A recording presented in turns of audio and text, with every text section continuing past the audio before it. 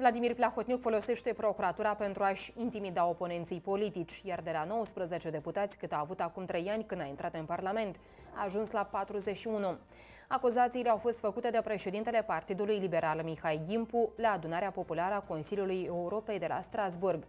Politicianul a mai atras atenția oficialelor de la Bruxelles și la problemele cu care se confruntă primarul capitalei Dorin Chertoacă, dar și fostul ministru al transporturilor Iurie Chirinciuc. Serviciul de presă al Partidului Democrat nu a comentat deocamdată acuzațiile liderului PL. Chiar la moment, procuratura este folosită de Vlad Plahodniuc, președintele Partidului Democrat, partid de guvernare pentru a intimida oponenții politici, inclusiv deputați și aleși locali.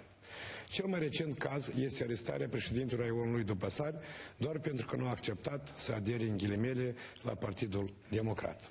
Așa și a început discursul avut la Consiliul Europei președintele Partidului Liberal Mihai Gimpu. Politicianul a continuat seria de acuzații aduse PD-ului, dar și liderului acestui partid, Vlad Plahotniuc. Astfel, de la 19 deputați aleși în 2014, astăzi fracțiunea Partidului Democrat are 41 de deputați și ține sub control peste 55 de deputați, patru fiind transfuși de la Partidul Liberal. De la 300 de primari aleși în 2015, astăzi au peste 600 de primari. Mihai Gimpu a ținut să le vorbească oficialilor europeni și despre membrii Pele care ar fi hărțuiți de actuala guvernare. Au fost arestați fără probe doi lideri ai Partidului Liberal, ministrul transportului Iuri Chirinciuc și primar general al municipiului Chișinău Dorin Chirtoacă din cauza că Partidul Liberal a refuzat să susțină unii proiecte de legi specioase, inclusiv votul uninominal.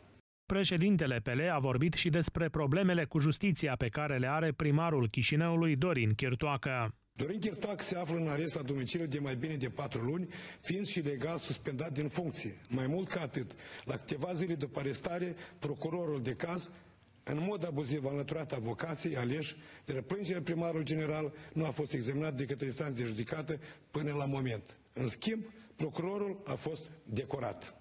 Serviciul de presă al Partidului Democrat nu a răspuns la telefon pentru a comenta acuzațiile aduse de Mihai Gimpu. Precizăm că președintele PL participă zilele acestea la sesiunea Noi amenințări la adresa statului de drept în statele membre ale Consiliului Europei, ce are loc în cadrul APC.